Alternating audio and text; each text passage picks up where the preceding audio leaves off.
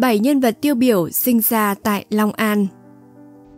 Quý vị và các bạn thân mến, trong hai cuộc kháng chiến chống giặc ngoại xâm, cùng cả nước, quân và dân Long An sát cánh, một lòng, đứng lên đấu tranh giành độc lập dân tộc. Không chỉ ghi dấu nhiều chiến công oanh liệt, mảnh đất hiền hòa mà anh dũng này là nơi sản sinh ra những người con ưu tú của dân tộc, niềm tự hào của quê hương Long An. Trong video ngày hôm nay, Chân Dung Lịch Sử xin được tổng hợp 7 nhân vật tiêu biểu của vùng đất này. Mời quý vị và các bạn cùng theo dõi.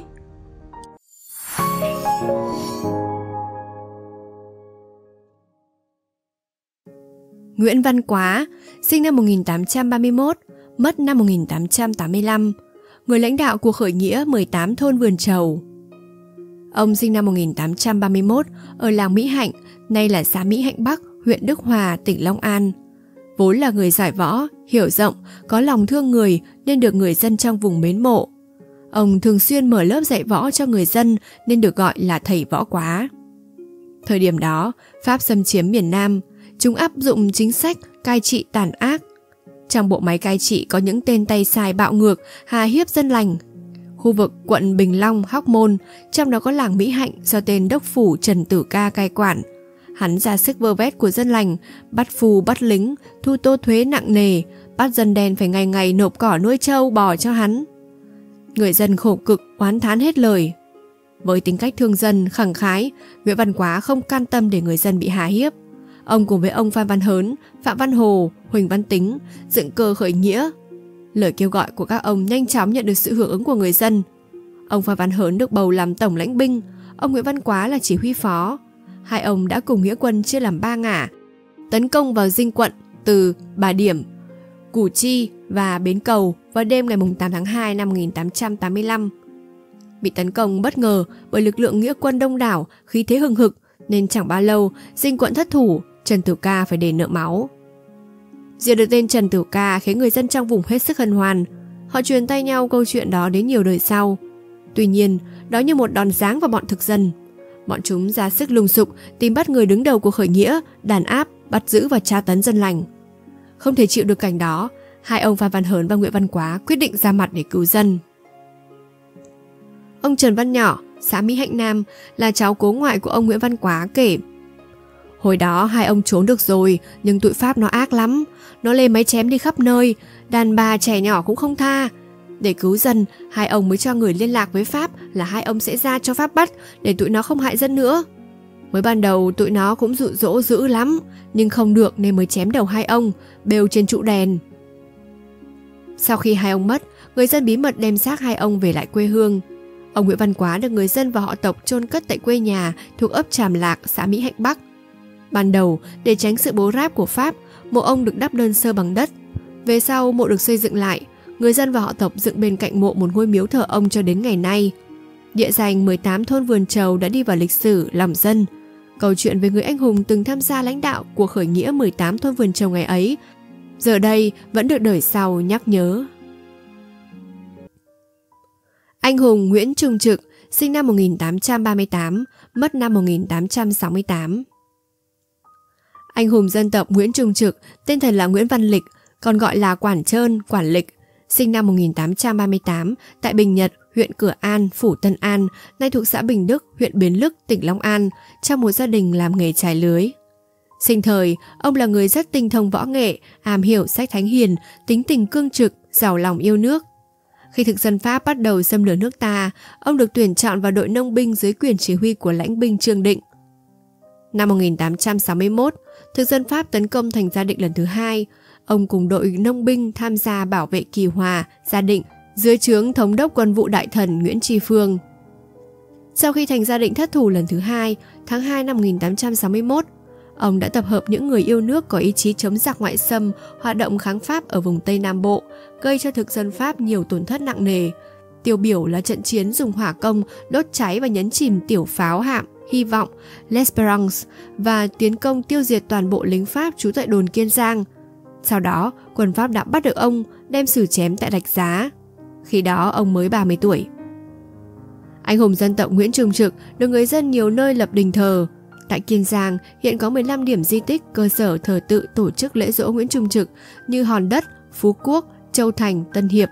Đây là những địa chỉ đỏ, điểm tham quan để người dân, du khách bày tỏ lòng tri ân, tưởng nhớ anh hùng dân tộc Nguyễn Trung Trực. Ngoài Kiên Giang, nhiều tỉnh cũng có đình thờ Nguyễn Trung Trực như ở Long An, An Giang, Hậu Giang, Sóc Trăng, Bạc Liêu, Bình Định. Đồng chí Võ Văn Tần, sinh năm 1894, mất năm 1941, người chiến sĩ cộng sản kiên trung, mẫu mực. Đồng chí Võ Văn Tần, sinh năm 1891 tại thôn Bình Thủy, làng Đức Hòa, huyện Đức Hòa, tỉnh Chợ Lớn cũ, nay là tỉnh Long An. Cha là ông Võ Văn Sự và mẹ là bà Nguyễn Thị Toản, là người thứ bảy trong số 11 anh chị em. Từ nhỏ, đồng chí đã được học chữ Hán và chữ quốc ngữ. Vào những năm 1920, 1925, đồng chí mở trường và dạy học, kiêm nghề bốc thuốc trị bệnh cho đồng bào trong làng. Sau đó lên chợ lớn làm người kéo xe, rồi lại trở về quê làm biện làng để kiếm sống. Chính trong điều kiện lao động, được đi nhiều nơi, được tiếp xúc với nhiều tầng lớp khác nhau trong xã hội, cùng với truyền thống của gia đình đã khơi dậy trong đồng chí tư tưởng yêu nước, ý chí đấu tranh, muốn tìm ra con đường cho nhân dân lao động thoát khỏi cảnh nô lệ lầm than. Năm 1926, đồng chí gia nhập Hội Kỳ Nguyên An ninh ở Sài Gòn, Gia Định. Nhưng mục đích và tôn chỉ của hội không thỏa mãn nguyện vọng cách mạng của đồng chí. Năm 1929, khi tổ chức An Nam Cộng sản Đảng ra đời, đồng chí trở thành một trong những đảng viên tiền bối của đảng.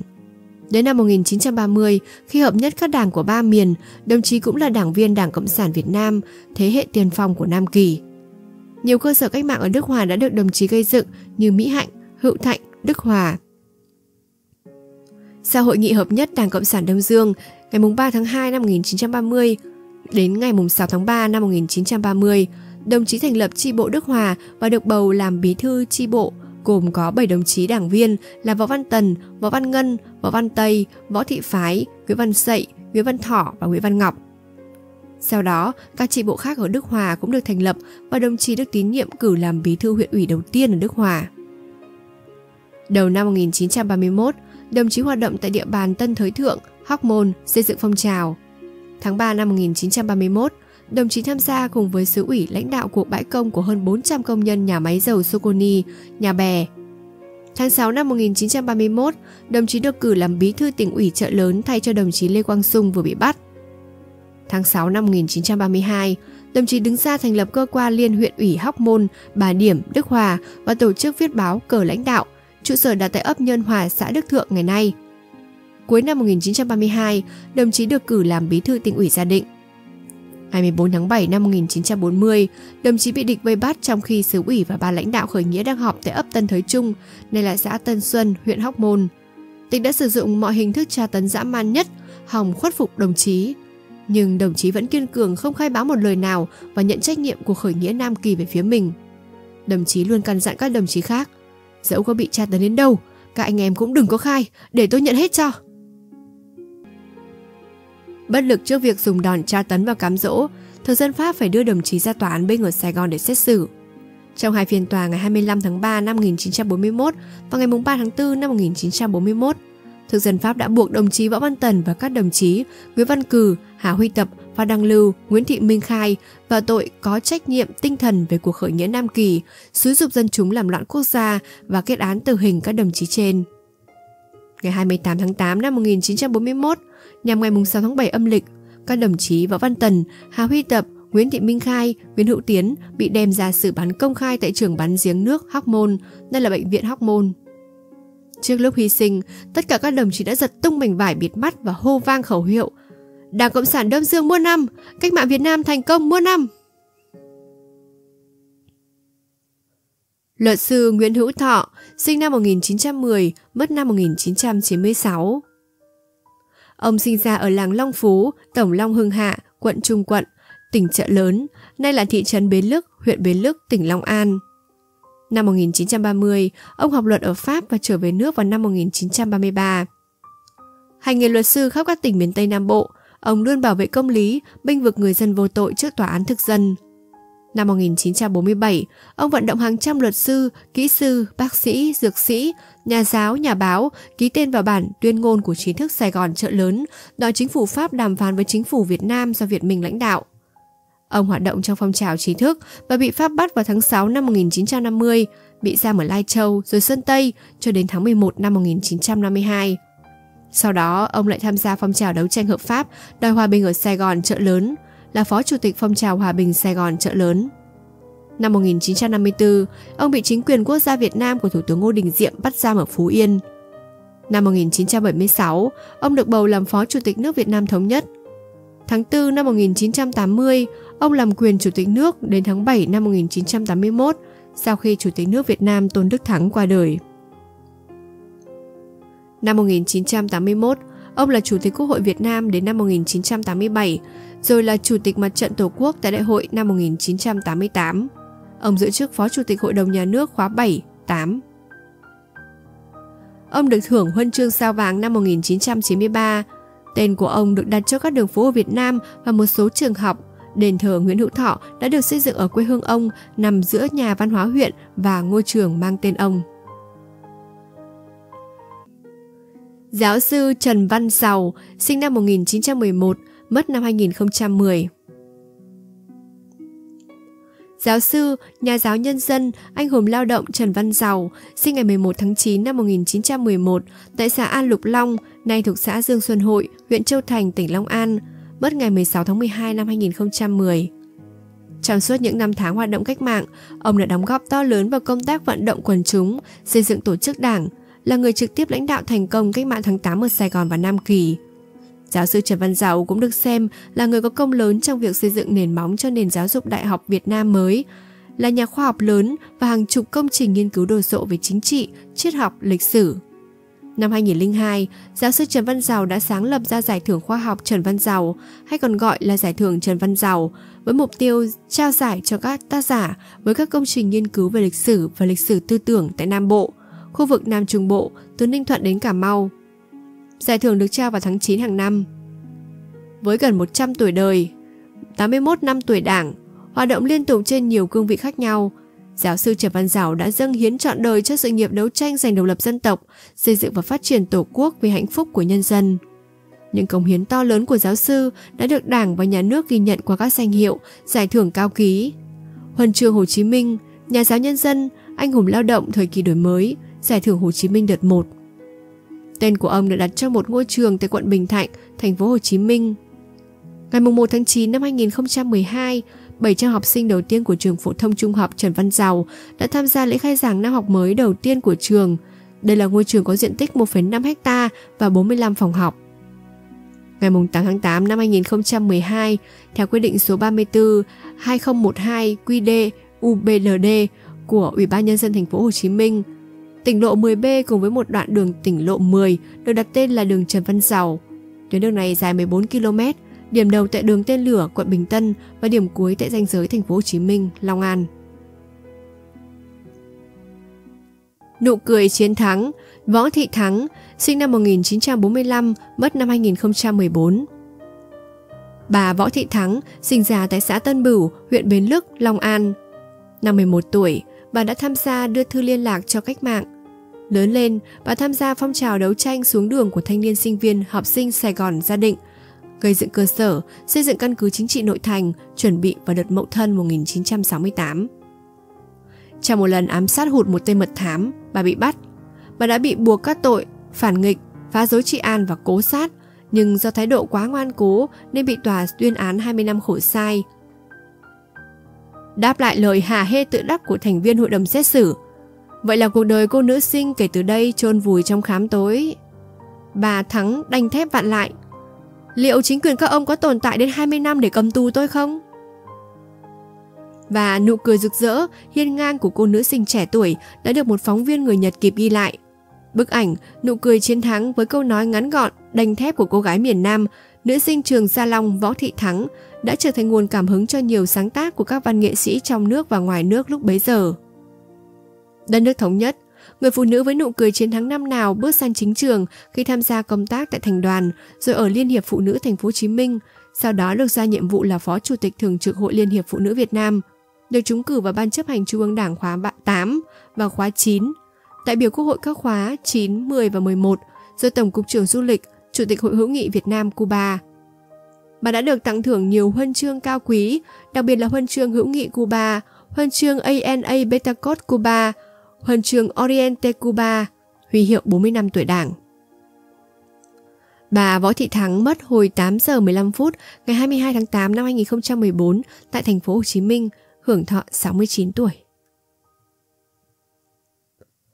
Anh hùng liệt sĩ Nguyễn Thái Bình, sinh năm 1948, mất năm 1972. Anh hùng Nguyễn Thái Bình sinh ra tại xã Tân Kim, huyện Cần Duộc, tỉnh Long An. Sau khi học xong tiểu học tại Cần Duộc, anh theo cha lên Sài Gòn học tại trường Petruski. Năm 1966, anh thi đậu vào nhiều trường đại học và anh đã chọn vào trường cao đẳng nông lâm sản. Tháng 3 năm 1968, anh được cơ quan phát triển quốc tế Hoa Kỳ USAID cấp học bổng sang Mỹ để du học. Anh học tại một đại học cộng đồng ở Fresno, California một năm, rồi chuyển đến Đại học Washington. Trong những năm cuối thập niên 60, phong trào phản đối chiến tranh rầm rộ sôi nổi ở Mỹ, đặc biệt là trong giới thanh niên và sinh viên. Nguyễn Thái Bình nhanh chóng hòa vào phong trào đấu tranh ấy bởi chính anh và dân tộc của anh đang là nạn nhân của cuộc chiến tranh xâm lược tàn bạo này. Nguyễn Thái Bình hoạt động tích cực trong trường đại học, diễn thuyết tại nhiều cuộc hội thảo, meeting của các tổ chức chống chiến tranh ở Mỹ. Anh là đồng sáng lập tờ Thời báo Gà, cơ quan ngôn luận của Trung tâm Tài liệu Việt Nam, tổ chức phản đối chiến tranh của người Việt ở Mỹ. Anh còn viết bài tố cáo tội ác chiến tranh của Mỹ ở Việt Nam trên các báo chí của Hội người Việt Nam ở Mỹ, Canada, Pháp. Năm 1972, anh cùng với 9 sinh viên Việt kiều khác đã đột nhập và chiếm tòa lãnh sự của Việt Nam Cộng Hòa tại thành phố New York, yêu cầu đòi trả tự do cho 200.000 tù nhân chính trị tại Việt Nam. Tổng thống Nguyễn Văn Thiệu từ chức và giải thể chế độ dã man và Hoa Kỳ rút khỏi Việt Nam vô điều kiện. Anh bị cảnh sát bắt giữ vì đã đột nhập lãnh sự quán, nhưng học bổng USET vẫn được duy trì những ảnh hưởng và sự lan tỏa phong trào chống Mỹ tại đất Mỹ đã khiến cho cơ quan trung ương tình báo Mỹ CIA ngấm ngầm trục xuất Nguyễn Thái Bình về Việt Nam để sát hại anh theo một kịch bản đã dàn dựng sẵn. Ngày hôm trước khi bước lên chuyến bay định mệnh, ngày 1 tháng 7 năm 1972, Nguyễn Thái Bình đã viết để lại hai bức thư ngỏ gửi nhân dân yêu chuộng hòa bình công lý trên thế giới và bức thứ hai gửi cho Tổng thống Mỹ Richard Nixon. Bức thư có đoạn viết Thưa ngài Tổng thống, Tôi là người Việt Nam, tôi tên Nguyễn Thái Bình, nghĩa là hòa bình. Là một sinh viên Việt Nam, tôi đã nghiên cứu những tổn hại to lớn về xã hội, kinh tế và văn hóa mà cuộc chiến tranh xâm lược của Mỹ ở Việt Nam gây ra. Việt Nam ở cách xa nước Mỹ hàng vạn dặm, nhân dân Việt Nam không hề làm một điều gì có hại cho người Mỹ. Nhưng suốt 18 năm qua, chính phủ Mỹ đã vi phạm và phá hoại một cách có hệ thống Hiệp định Geneva năm 1954, tiến hành cuộc chiến tranh xâm lược ở Việt Nam, ngăn cản việc vãn hồi hòa bình, cản trở việc thống nhất đất nước yêu dấu của tôi. Với tư cách là người lãnh đạo nước Mỹ, hẳn ngài phải hiểu rõ hơn ai hết quy mô to lớn của những tội ác chiến tranh chống nhân loại, những tội ác chống hòa bình mà chính phủ Mỹ đã phạm phải ở Việt Nam cũng như ở Lào và Campuchia. Tôi nghĩ rằng ngài và các người kế tục ngài đã hiểu rất rõ bao nhiêu bom đã ném xuống Đông Dương sau khi ngài nhận chức. Vũ khí của ngài đã có tác dụng giết người đến mức nào – bom đạn Mỹ sẽ hủy diệt đất đai, cảnh trí và sinh mạng con người đến mức nào. Hàng triệu người ở Đông Dương đang phải đau khổ ra sao dưới bàn tay ngài, dưới chính sách diệt chủng diệt sinh của Mỹ. Và anh nói những lời tiên tri về linh cảm bọn CIA sẽ sát hại anh trên đường về Tổ quốc. Nếu tôi bị giết, hàng triệu người Việt Nam sẽ thay tôi chiến đấu cho đến khi chúng tôi chấm dứt được cuộc chiến tranh bất nhân và vô luân này. Gần 10 giờ ngày 2 tháng 7 năm 1972, Nguyễn Thái Bình bị sát hại trên chiếc máy bay Boeing 747 mang số 841 của hãng hàng không Liên Mỹ khi đang hạ cánh xuống đường băng phi trường Tân Sơn Nhất. Những nhân viên CIA Cục Tình báo Trung ương Mỹ đã đê hèn bắn 4 phát đạn vào ngực của anh và quy anh là không tặc định cướp máy bay, đã bị một hành khách trên máy bay bắn chết. Người thanh niên vừa tròn 24 tuổi ấy ngã xuống như một anh hùng và đi vào cõi bất tử. Trên đây là 7 nhân vật tiêu biểu tỉnh Long An. Bạn ấn tượng với nhân vật nào nhất? Hãy để lại ý kiến xuống phần bình luận của video và đừng quên đăng ký kênh để đón xem những số phát sóng tiếp theo của Chân Dung Lịch Sử. Cảm ơn quý vị và các bạn đã quan tâm theo dõi. Xin kính chào tạm biệt và hẹn gặp lại!